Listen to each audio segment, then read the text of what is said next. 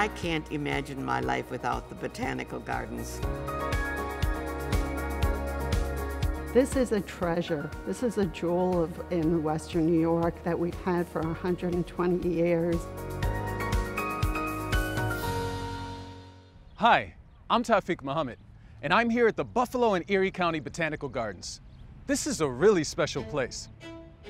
This place has a rich history going back more than 120 years. When Buffalo was the seventh largest city in the country, it was a major hub for shipping and commerce and even played a huge role in the Industrial Revolution. The population was growing, and city leaders were busy improving the quality of life for its citizens. That's where this story begins. Folks who had been living on the waterfront, moving to the uh, First Ward, the Valley, and then into South Buffalo proper, uh, they were concerned because they didn't have a park as other parts of the city had. Frederick Law Olmsted, of course, had developed the park system in Buffalo. And in the late 1880s, the citizens of the area in the South really wanted a park. And of course, parks were very important in those days. They didn't have uh, shopping malls or theaters to go to. People on Sundays, usually their only day off, was an opportunity for them to gather with family and go to the park. But there were none here in South Buffalo. Olmsted returned with grand designs for a massive 1,200 acre park, which wasn't at all what the city envisioned. The leaders in the city of Buffalo rejected that 1,200 acre park and told them, look, you can build a park, you can design an arboretum, be known as South Park, but it will only be 156 acres. The city also required that Olmsted include a conservatory in the design.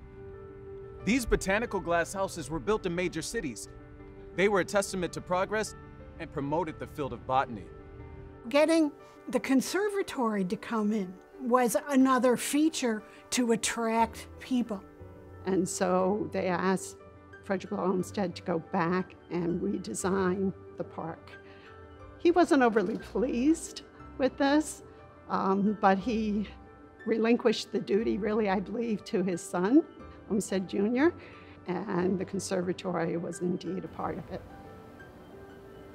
Each of the parks had features, but this one was going to be outstanding. The city commissioned Lord and Burnham to design the structure, and uh, they uh, modeled it after the Crystal Palace, which is in the Kew Gardens in London, England. This new conservatory would be home to thousands of plant species, not native to Western New York, but from all around the world. Before construction could even begin, John F. Cowell was named as first director.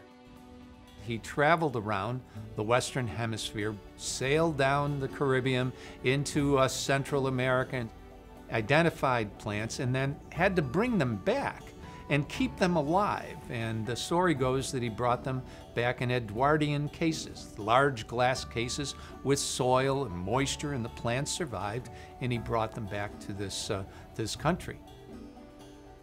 The conservatory opened in 1900, and it would have an early chance to shine a year later during the Pan American Exposition.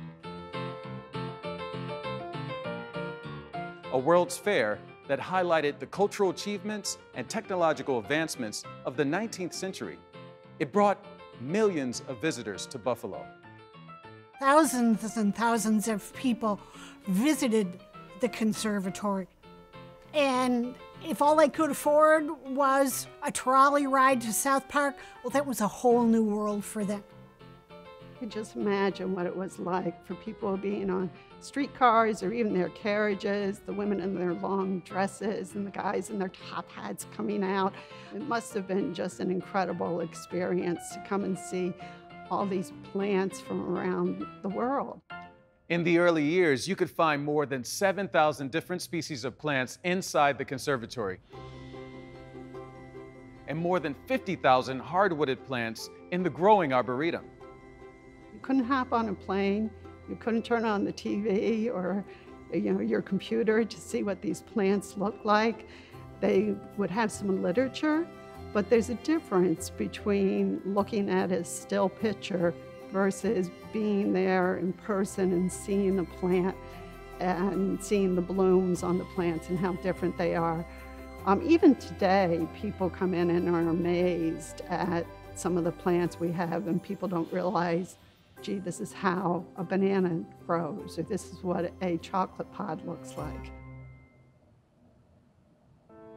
Unfortunately, the unexpected death of director John Cowell in 1915, well, it would mark the beginning of several difficult years. Not only had we lost our, our, our leader, the, but the conditions were deteriorating. According to the accountant's records, they were replacing panes of glass in the conservatory at a rate of 200 per year. Lord and Burnham were the preeminent greenhouse designers in the United States at the time, and they designed a structure that was Victorian style. And part of the problem was the houses were shaped like this, and the weight of the snow pushed down and caused serious damage.